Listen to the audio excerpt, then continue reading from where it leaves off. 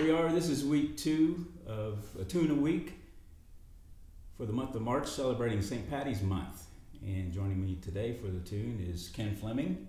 I'll be here on the button accordion.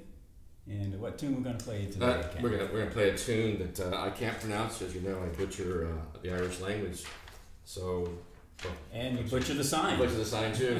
uh, so this is a slide from uh, the Sliabh Luachra area, and um, it's also known as uh, Connie Walsh's.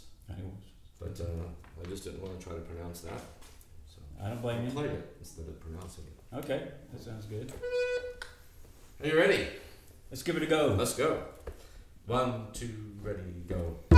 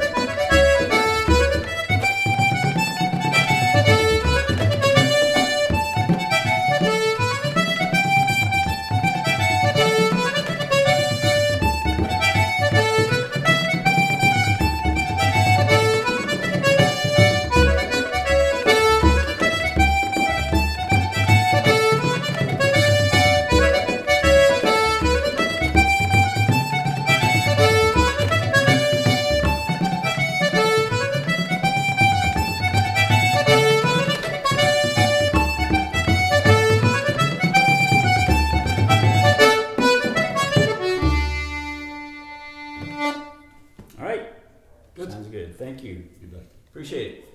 And if you missed any of the others, you can check it out on my YouTube channel or my timeline on Facebook page. And see you next time. Thanks again. You bet.